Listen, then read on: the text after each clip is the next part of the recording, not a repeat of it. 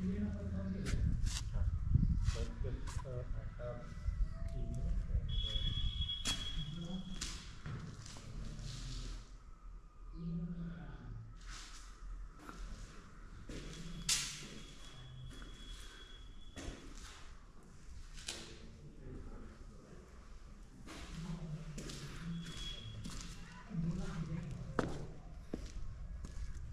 तो हम लोग वहाँ रहेंगे तो खाएंगे पीएंगे रहेंगे